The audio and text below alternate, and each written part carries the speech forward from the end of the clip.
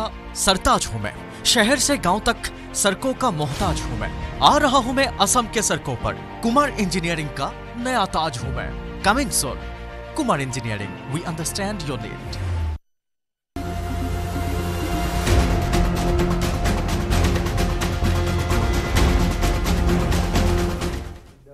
নমস্কাৰ প্ৰিয় দৰ্শক শেষৰটো খণ্ডত উপনীত হৈছোঁ। আমাৰ এই আলোচনাৰ দুহেজাৰ চৌব্বিছৰ ছেমি ফাইনেল হ'ব নেকি পাঁচ ৰাজ্যৰ নিৰ্বাচন? সমীপৰ মিজোৰামতো নিৰ্বাচন আছে।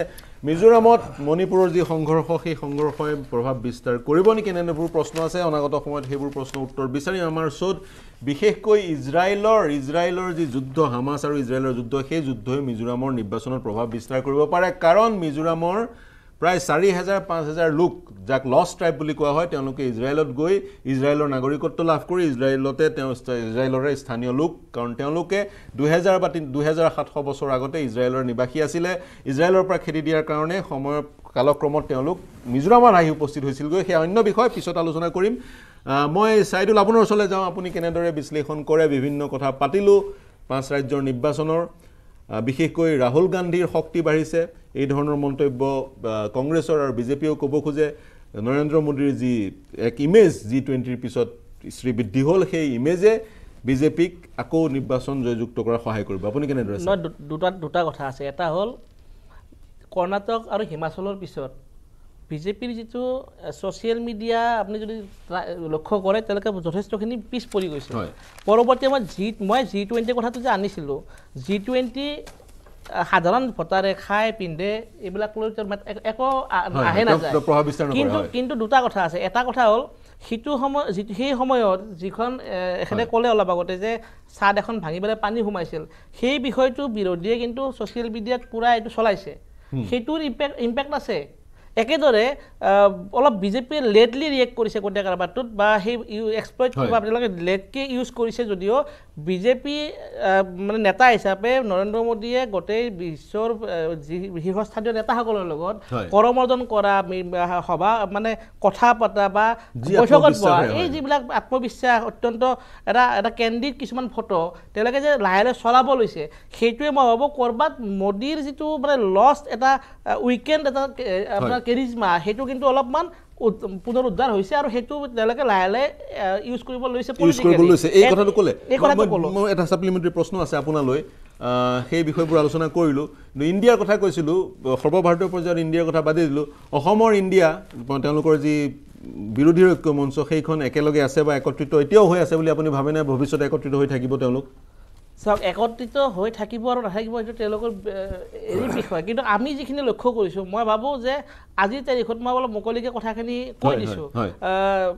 যিধৰণে চিট শ্বেয়াৰিং সম্পৰ্কত দাবী আৰম্ভ হৈছে দাবী কৰাটো বাৰু একো আননেচাৰেল কথা নহয় কাৰণ তেওঁলোকে বিচাৰিব। এতিয়া তৃণমূল কংগ্ৰেছে পাঁচটা চিট বিচাৰিছে বুলি শুনিছোঁ। পাঁচটা চিট বিচাৰিলে এখন পাঁচটা চিট বিচাৰিলে এখন পাব পাৰে। কিন্তু মই মই পাৰ্চনেলি ভাবোঁ যে আজিৰ তাৰিখত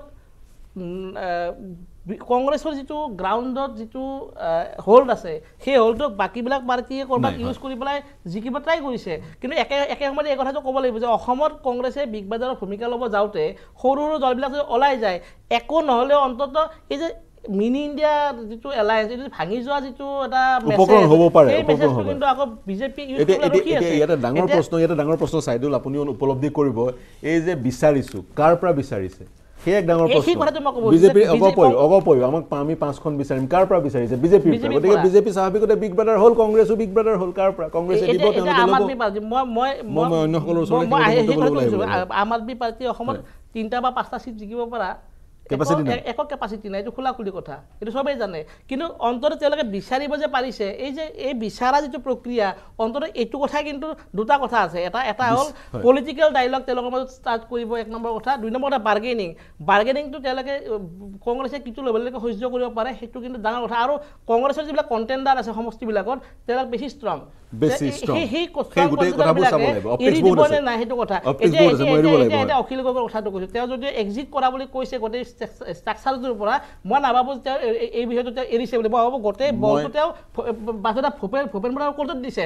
এতিয়া তেওঁ যিটো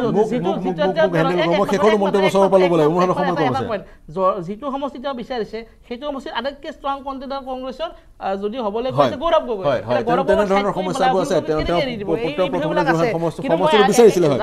এটা পইণ্ট মাত্ৰ। আমি দেখিছিলোঁ অক্ষয় কুমাৰ আৰু নৰেন্দ্ৰ মোদী এটা ইণ্টাৰভিউ দিছিল হয়। গৈছিল। সেই ইণ্টাৰভিউটো খুব চলিছিল আৰু চৰ্চা হৈছিল আৰু মানুহে চাইছিল। একে সময়তে কিন্তু আজি ৰাহুল গান্ধীয়ে যিটো ইণ্টাৰভিউ লৈছে অন্ততঃ মই কিন্তু কংগ্ৰেছৰ কাৰণে ভাল ভাল কথা এটা কৈ দিছোঁ। অক্ষয় কুমাৰকে কিন্তু ৰাহুল গান্ধী কিন্তু ভাল ইণ্টাৰভিউটো এটা বেছিকে interview চাইছে লৈছে। বুলি আপুনি দাবী কৰিছে হয় ভালকে আপুনি লৈছিল, ল'ব পৰিসংখ্যা পাৰিছে। পৰিসংখ্যা চাই আহিছে দাবী কৰিছে। মোক দুখনত বেছি সময় নাই চাৰি পাঁচ মিনিট আছে। সকলোৰে পৰা চাৰিজন ৰাজনৈতিক ব্যক্তিৰ পৰা শেষৰটো মন্তব্যলৈ মই টি এম চিৰ পৰা আৰম্ভ কৰিছোঁ। হয় টি এম চিৰ পৰা আৰম্ভ কৰিছোঁ সংক্ষেপত হয় থাৰ্টি ছেকেণ্ডছত চৌব্বিছৰ লোকসভা ইলেকশ্যন আৰু এতিয়া যে পাঁচখন ৰাজ্যত যে ইলেকশ্যন হ'ব একদম খাটাং যে বিজেপি বিজেপি বিজেপি হাৰিব আৰু আপোনালোক ঐক্যবদ্ধ হৈ আছে।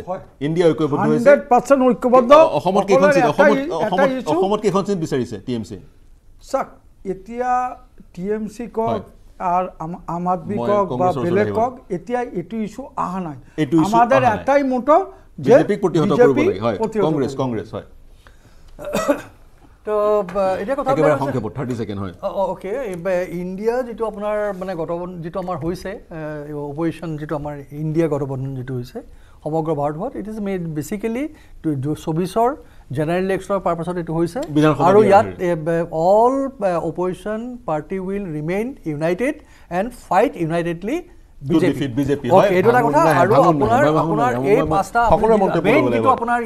হেৰি পাঁচখন ইলেকশ্যনত এই পাঁচটা ইলেকশ্যনত কিন্তু শক্তি পৰীক্ষা হ'ব। Opposition not BJP opposition will win অপজিশ্যনে জয়লাভ কৰিব আৰু সেই অপজিশ্যনৰ কাৰণে অগ্নি পৰীক্ষা শক- শক্তি প্ৰদৰ্শন কৰাৰ তেওঁলোকে অৱকাশ পালে। আপৰ আপৰ পৰা ল'ম। মই এটাই কথা ক'ম যে যিটো আমাৰ ইণ্ডিয়া। মিত্ৰজোঁট। ইয়াতে কোনো ধৰণৰ ভাঙোন হোৱা নাই। বিজেপি চাওক এজ এ সাধাৰণ নাম লৈ ইণ্ডিয়া নাম লৈ পেলাই যিটো বিজি আছে বা যেনেকুৱা ধৰণৰ ইনচিকিউৰিটি ফিল কৰি আছে আজি ইণ্ডিয়া শব্দটো বিজেপি মানুহে মুখত আনিবলৈ টান পায় এতিয়া। ভাৰত বুলি শব্দ চব জেগাতে ভাৰত লগাব এনেকুৱা ধৰণৰ এটা টেনশ্যন এখেতসকলক দেখা গৈ আছে। দুই নম্বৰ কথা শুনক এক মিনিট। মই কৈ আছোঁ যে অসমৰ যিটো মিত্ৰজোঁট এতিয়া আমাৰ মোৰ সতীৰ্থ এজনে। কৈছে যে আমি পাঁচটাত জিকিব পৰা অৱস্থাত নাই। আমি তেনেকুৱা নহয় আমি চৈধ্যটা সমষ্টিতে আমি কাম কৰি আছো। কিন্তু আমি চাৰি পাঁচটা সমষ্টি আমি। খেলিলে হয়, আৰামছে আমি জিকিম আমাৰ সাংগঠনিক ভেটি ষ্ট্ৰং আছে। যাৰ হয়। কাৰণে আমাৰ সেইটো এটা কথা কোৱা হৈছে। বাকী যিখিনি চিটৰ কথা সেইটো নেশ্যনেল লেভেলত। আলোচনা হৈ এতিয়া সিদ্ধান্ত লোৱা হ'ব। ধৰণৰ আপুনি সিদ্ধান্ত শক্তিশালী। মই বিজেপিৰ। প্ৰতিনিধিগৰাকীৰ ওচৰলৈ যাম। শেষৰটো মন্তব্য আপোনাৰ পালোঁ ধন্যবাদ। মই আশা ৰাখিছোঁ যে তেখেতসকলে যিটো কথা ক'লে তেখেতসকলৰ অ- অকণমান হ'লেও ওৱান পাৰ্চেণ্ট হ'লেও যদি তেওঁলোকে ছাকচেছ হয় ভাল লাগিব। কিন্তু মই নিশ্চিতভাৱে বিশ্বাস কৰোঁ যে পাঁচ ৰাজ্যত যে নিৰ্বাচন সেই নিৰ্বাচনত ভাৰতীয় জনতা পাৰ্টীৰ জয়লাভ নিশ্চিত আৰু দ্বিতীয়তে যি দুহেজাৰ চৌব্বিছৰ লোকা লোকসভা ইলেকশ্যন সেই ইল- ইলেকশ্যনৰ আগে আগে নিৰ্বাচনৰ ৰিজাল্টৰ কথাটো মই নাহোঁ প্ৰথমতে মই কৈ থৈ দিওঁ যে আই এন ডি এৰ ভাঙোনটো নিশ্চিত কাৰণ ইতিমধ্যে ভাঙোন মই আকৌ পুনৰ কৈছোঁ ভাঙোন আৰম্ভ হৈছে আৰু এয়া ভাঙোন নিশ্চিত গতিকে। ইয়াতে আই এন ডি এ।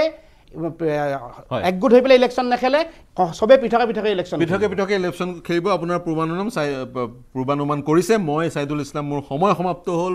অনাগত সময়ত এই আলোচনা আগবঢ়াই লৈ গ'লে আমি আৰু এই বিষয়ত কথা পাতিব পাৰিম। ইণ্ডিয়াত তেওঁ আই এন ডি এ বুলি কয় কাৰণ স্বাভাৱিকতে ইণ্ডিয়াটো এটা এভ্ৰিভিয়েশ্যন বিৰোধী মিত্ৰজোঁটৰ মিত্ৰজোঁটে নিজৰ যি জোঁটটোত ইণ্ডিয়া নাম দি লৈছে। আলোচনা আলোচনা আৰম্ভ কৰিম কিন্তু মই অনুষ্ঠান সামৰিব লাগিব। মই আলোচনা সমাপ্ত কৰিবলৈ পাঁচখন ৰাজ্যৰ নিৰ্বাচন ইণ্ডিয়াৰ কাৰণে ছেমি ফাইনেল এন ডি এৰ কাৰণে ছেমি ফাইনেল দেশৰ কাৰণে ছেমি ফাইনেল দেশৰ কাৰণেও ছেমি ফাইনেল ইণ্ডিয়া গোটৰ ভাঙোনৰ ওপৰতহে বিজেপিৰ দুহেজাৰ চৌবিছৰ ইলেকশ্যন জিকা হাৰাটো নিৰ্ভৰ কৰিছে। নিৰ্ভৰ কৰিব। হয় হয় হয়। যদিহে ইণ্ডিয়াত ভাঙোন হয় বিজেপি জয়লাভ কৰিব আৰু ইণ্ডিয়াত ভাঙোন নিশ্চিত। মই মই মই অনুষ্ঠান সামৰিব লাগিব মোৰ অনুষ্ঠান স- সংযুক্ত হোৱাৰ কাৰণে মই অনুষ্ঠান হয় হয় মই মই মই মই- মই অনুষ্ঠান সামৰিব লাগিব মোৰ সংযুক্ত হোৱাৰ কাৰণে গোপাল শৰ্মা প্ৰণৱ লহকৰ অভিজিৎ মজুমদাৰ আলাউদ্দিন আহমেদ ছাইদুল ইছলাম সকলোকে ধন্যবাদ জ্ঞাপন কৰিছোঁ প্ৰিয় দৰ্শক শুভৰাত্ৰি। সাধাৰণ ষ্টীল এনেকৈ পৰে। মাইথন ষ্টীল এনেকৈ পৰে। ধমকৈ।